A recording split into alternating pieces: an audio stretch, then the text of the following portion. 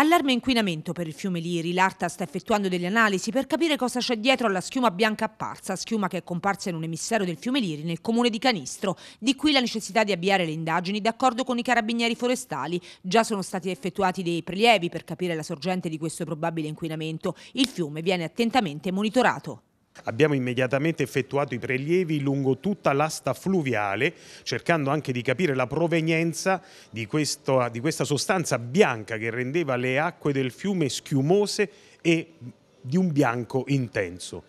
Dai primi accertamenti sembrerebbe, forse potrebbe essere carbonato di calcio che viene utilizzato in molti cicli produttivi degli insediamenti della Marsica. Verificheremo con più certezza e sicurezza questa ipotesi. Quindi va individuata la sorgente per poter poi intervenire d'accordo tutto con i carabinieri forestali questo? Sì, la materia di indagine è rimessa alle forze dell'ordine e alla magistratura.